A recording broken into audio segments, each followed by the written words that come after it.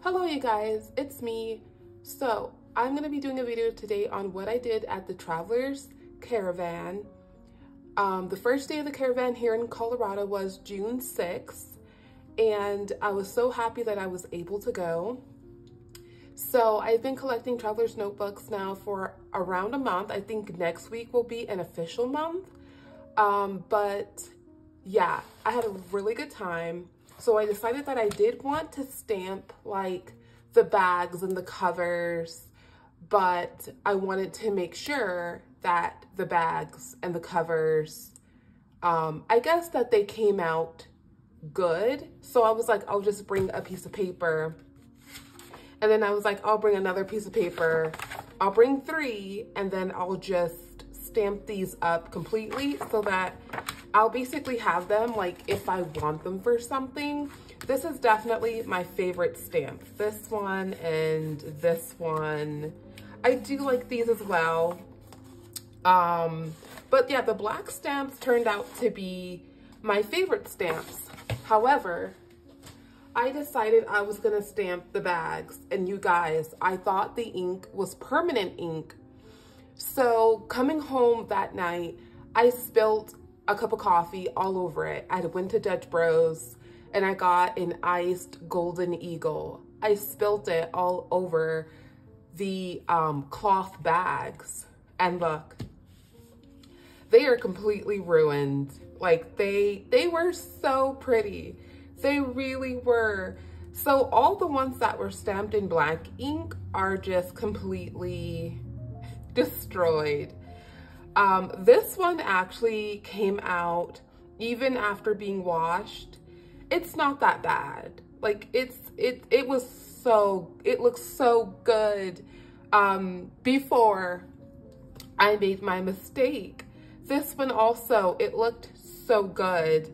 I don't know if the camera's picking it up that well, but I mean, it looks so horrible now. But it looked amazing when I first stamped it.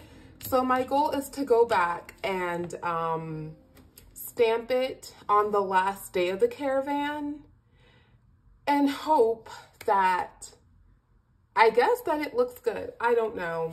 That might be a bad idea to stamp over it, but knowing me, I'm gonna try. But I also stamped the covers and these came out amazing. If nothing else, the, the covers inside, they stamped pretty well and I'm never gonna like do anything to the inside of the cover, so I'm pretty much good to go. So this is actually the olive. I hope it's picking up on the camera. This is my olive. I do have an unboxing for it. And it came out just so good. So on my passport ones, I didn't really go as crazy. I took this camel one, but I decided not to stamp it inside. Um, I don't know what I'm saving it for, but I'm saving it for something. My original plan was to basically just buy two camels and call it a day. I bought these two camels on the same day. This one has just been through more as far as like treatments are concerned, but it's stamped so beautifully at the Traveler's Caravan. It really did. And I am so happy with the inside. This one I didn't stamp inside, like I said. Here is the regular size of um, olive. I really hope that the camera's picking it up. And then look at that inside. It just looks so good. Initially, I was just gonna stamp like the bags and call it a day. I didn't wanna risk stamping inside. Um, but let me it just looks so good in here. Like I really, really, really love it. And I kind of like the fact that, you know, even though the stamp didn't come out perfect, it doesn't really matter because my plan is for these to look and age really um, aesthetically pleasing, but old. I want them to look old and worn, and I want them to look like they've been passed around for generations. Um, you know, this isn't a perfect stamp, but I don't need it to be for it to be beautiful. And so, oh, and then my brown ones. So I think last week or like four days ago, I can't remember. Um, I, oh, I didn't take this out. I, um, I got these and I unboxed them and this is the brown.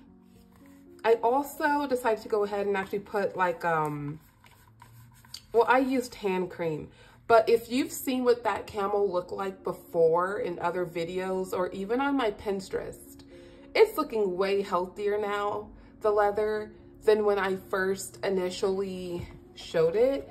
But you guys, look at that stamping. This is just super beautiful. I love that stamping. The pollen from these orchids are getting everywhere. But yeah, so this one got stamped and I think this one just has one stamp as well.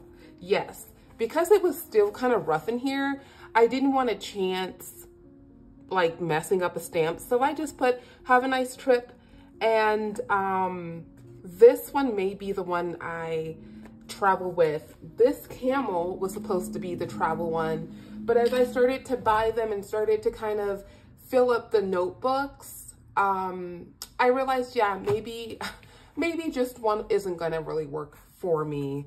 It could, but I'm not trying to make it work for me. Um, I really, I know this is something I will stick with for a long time. That being said, I also, um, I got the stamps, not the stamps, the stickers. I was able to get all three of the stickers. I don't really know if anyone has showed the stickers yet, but this one is so pretty. It is super pretty. I love this. And then coffee. I love coffee. I'm hoping that next year um, they'll have another like coffee traveler's notebook because that for me is something legitimate that I would want that I feel like is like, you know, me. Coffee and me.